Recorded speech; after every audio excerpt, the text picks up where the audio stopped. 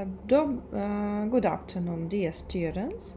Uh, now we continue our cycle of lectures in propedeutics of internal medicine for usual group uh, groups BA for third course of medical school Karazin University. And we continue uh, submodule signs and syndrome of uh, cardiovascular system disorders.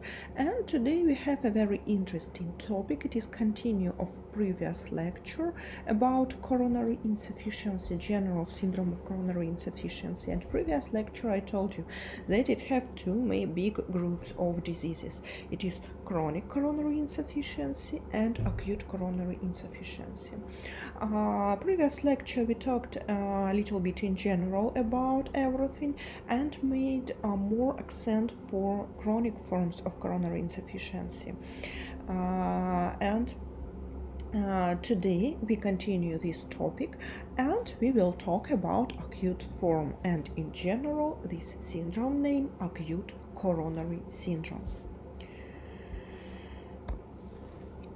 uh, okay plan of our today's lecture first it is to give definition uh, to acute coronary syndrome.